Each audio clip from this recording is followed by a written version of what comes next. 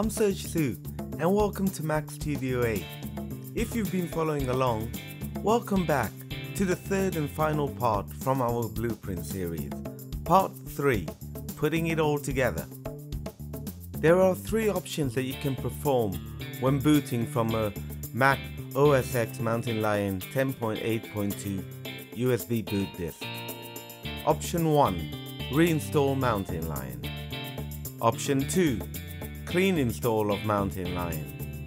And option 3 Restore Mountain Lion system image file. What you'll need an Intel based Mac system plus Mountain Lion 10.8.2 USB boot disk created in part 1. That will take care of options 1 and 2. For option 3, restoring a system image file, you'll need a system image file which was created in part 2 and copied onto an external hard drive. As always, don't forget to back up your hard drive or hard drives, especially when you're using the disk utility application. So let's get started. As we'll be demonstrating options 1, 2 and 3, insert your Mountain Lion USB boot disk along with the USB external hard drive. Then, simultaneously hold the option and power button until you hear sound and then release the option and power button. Now click on the orange icon which is basically your USB boot disk and click on the up arrow which will launch the OS X utility screen. We're now ready to demonstrate option 1, reinstall Mountain Lion 10.8.2. Basically option 1 allows you to keep all existing users, files and setup that you created when you first got your Mac system. Highlight the reinstall OS X, then press the continue button. Now navigate to where you want to reinstall Mountain Lion. In our case it would be on the Macintosh hard drive. Navigate to its location, then click on it. As I've already done an installation of Mountain Lion, I'm going to quit at this point.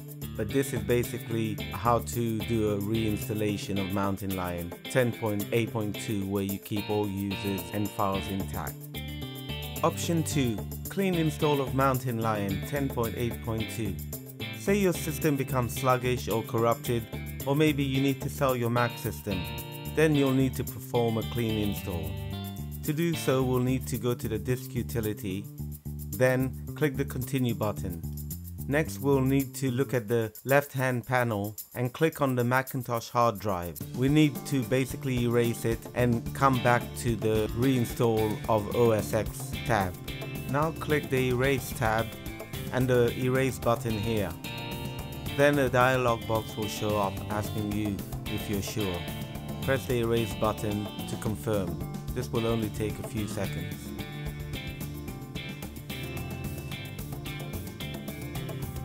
Now close the disk utility window and return back to the OS X utilities. Highlight the reinstall OS X tab and click continue button. Press agree and the agree button to confirm. Then locate your recently erased Macintosh hard drive as you'll notice it's about 120 gigabytes and click install. As I've already installed it before and I don't want to go through the process of doing so again which takes approximately 27 to 30 minutes.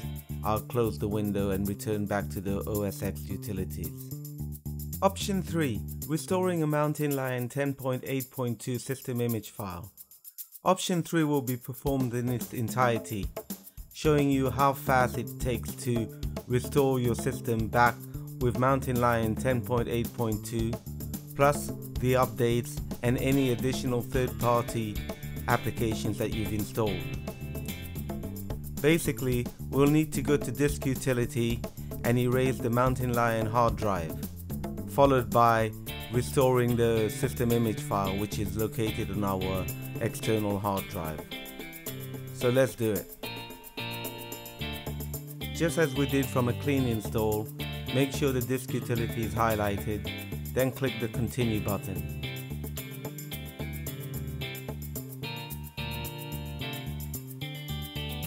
Then highlight the Macintosh hard drive, click the Erase tab, followed by the Erase button here. You'll then be asked to confirm that you want to do so. And as before, it only takes a few seconds. Press the Erase button to confirm. Once that's completed, we next need to press the Restore tab and restore our system image file.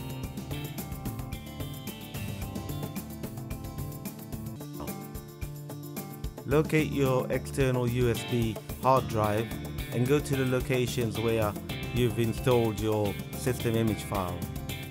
As I've created several, I'll just uh, restore one of these one here. Basically click on the image file, then click the open button. Next, click and drag the Macintosh hard drive to the destination box.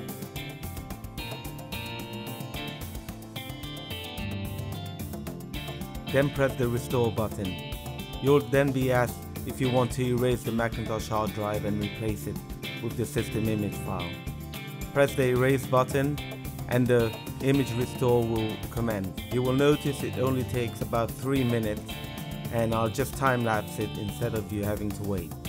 And that's it. Thank you very much for watching the Blueprint series parts 1, 2 and 3. If you have any comments or feedback or anything you don't understand, please comment below. Peace.